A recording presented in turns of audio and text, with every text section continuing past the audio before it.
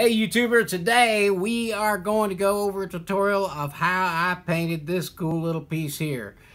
What you say, you say, I can't paint that. Well, yes you can. It really is easy and all you got to do is understand a little bit about how contrast works to understand how to make something glow like that.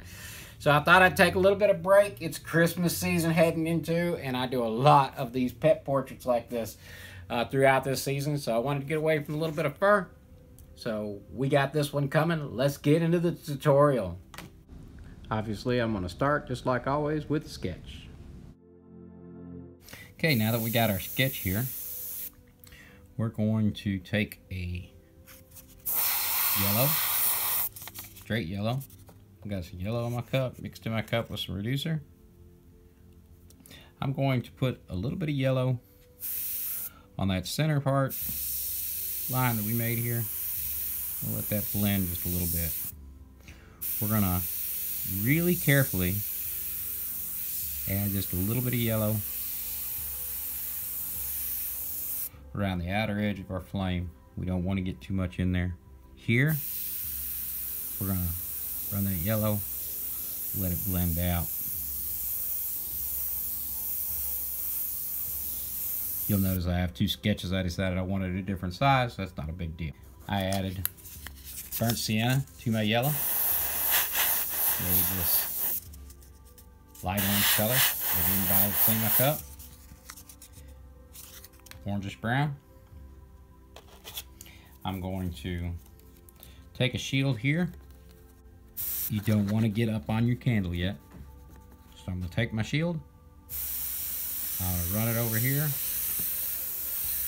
Make a nice crisp edge up against the flame and then on this edge we want to let it blend out off the tip of that flame.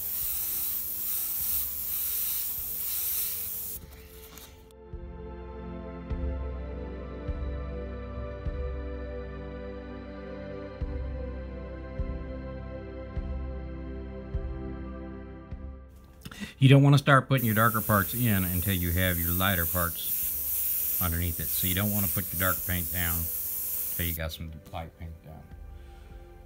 Now we're going to come over here to our candle.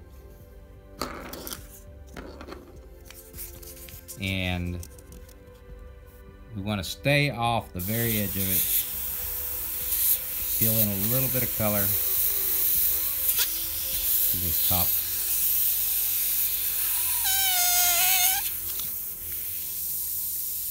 gonna look way too dark right now. But once we start adding our darks in, it will all be fine. Don't have to worry about any edges, overspray or anything on the edges out here because we're gonna have darks put in there.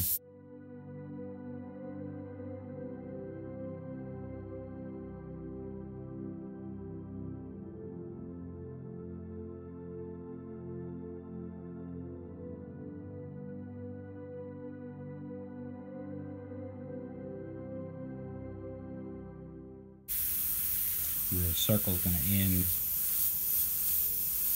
right in there.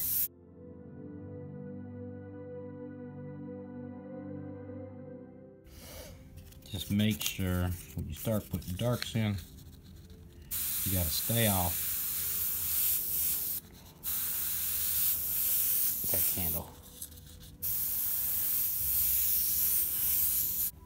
Then, same thing in here. We don't want to go all the way out to the edge. The spots that are going to get covered in darks, we'll put those in.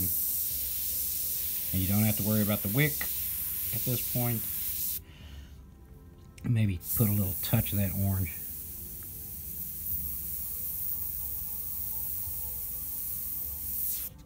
You don't have to worry too much about that wick because it's going to be way, way darker.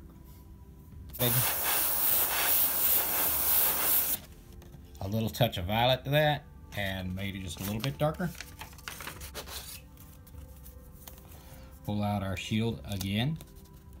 Um, obviously, I'm being careful here. You probably don't want to use a texture shield in most cases like this. And you want to stay off. Make sure you stay off the candle again.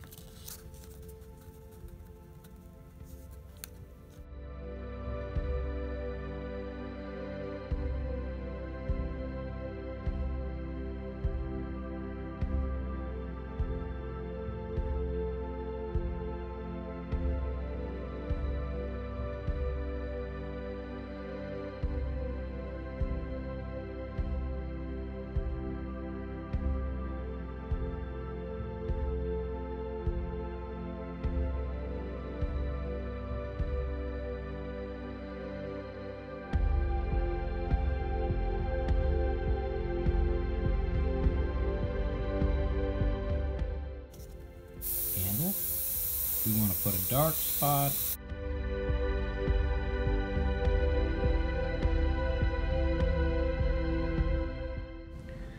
By coming off that edge there and adding a little line right there and then backing off of it and then blending down from there leaving that little space that's going to create a little shadow that won't be real evident throughout the picture but if you look at it closely later you'll notice that it's there and it adds that effect of realism it's going to create a shadow. It makes it look like the wax is rolling on its edge.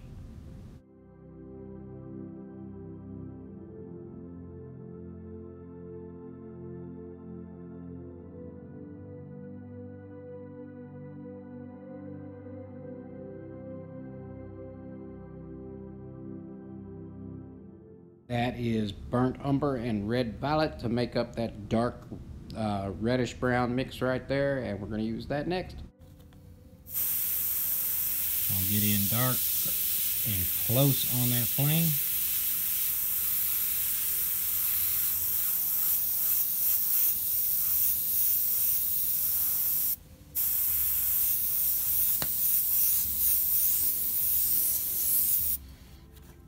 You want to get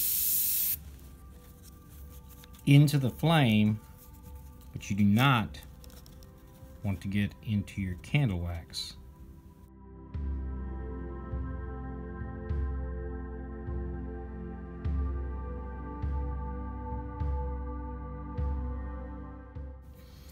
I'm going to blend out again on my inside portion of my flame, just on the bottom.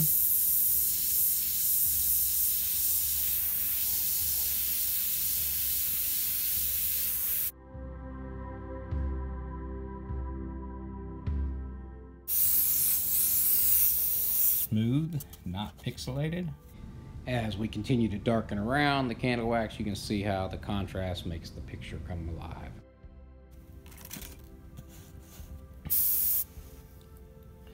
Going to add a little bit of that color there on the bottom of the candle.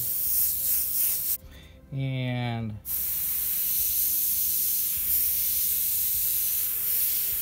some more of that trash in candle we were talking about.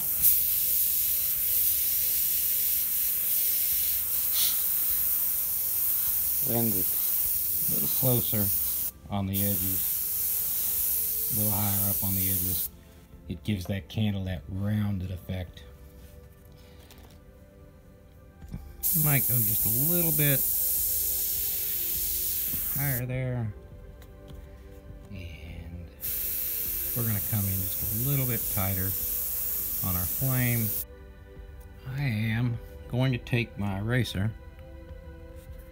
You don't have to necessarily, but I'm gonna take my eraser, run it around that edge, and give me a little bit of uh, highlight.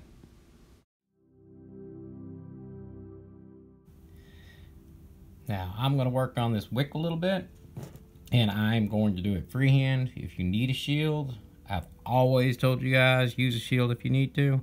And so what I'm going to do, I don't want to hit this very bottom on the candle.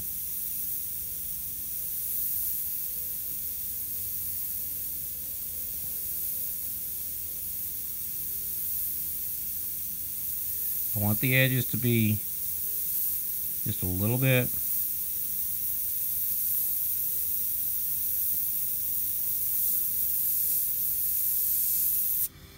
on the rough side.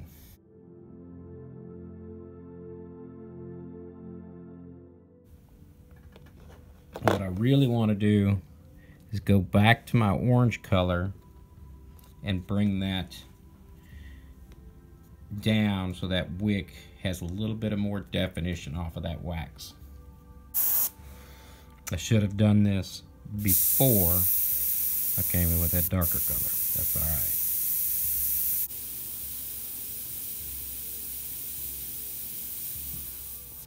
Hey, if you're liking what you're seeing, how about you take a moment after you get done watching this video, drop down below and hit that subscribe button.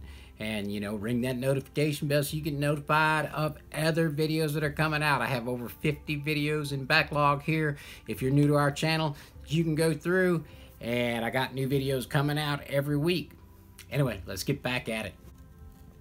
Now i have added some black to my red violet and made this color this is what regular black looks like this is what that looks like it's just a little bit warmer and it just keeps it from being a little bit on the harsh side as you get closer and closer to those edges. So we're going to come back. Definitely need a shield. Again.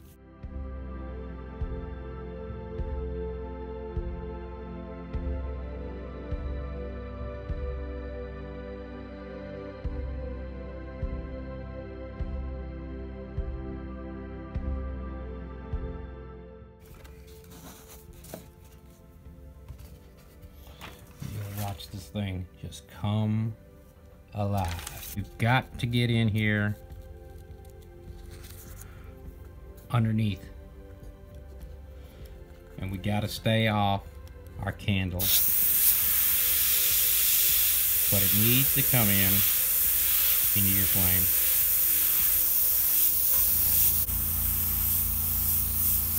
It's such a dark color we're using here. So we want to come into that flame the bottom.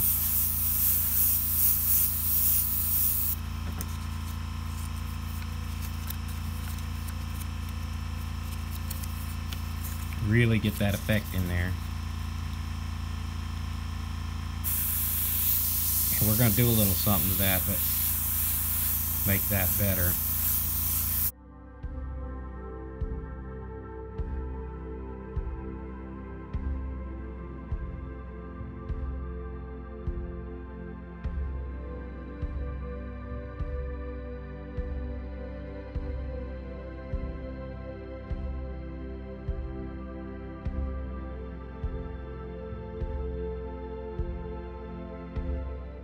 Just be careful with it, not get to 100% opacity.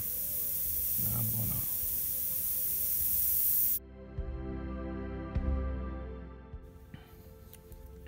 Now I've got some plain white in my cup and it's reduced down a little bit and we want to really gently I've got this what I want to do is put some white in here on the very very edge of this stencil I've got my candle covered up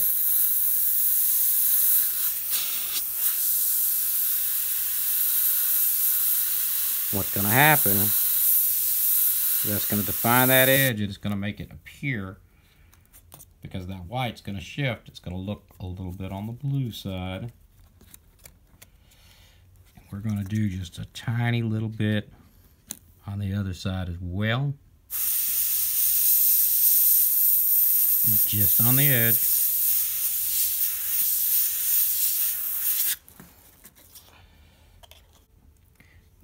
blend that in just you might not want to try that on your first shot I'm gonna blend that white up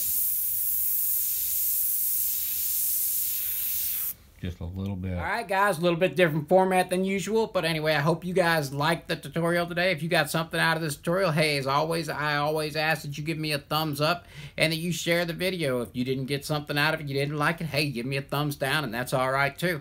But we appreciate you guys coming by. I got nothing else for you today. Y'all have a good one. Bye.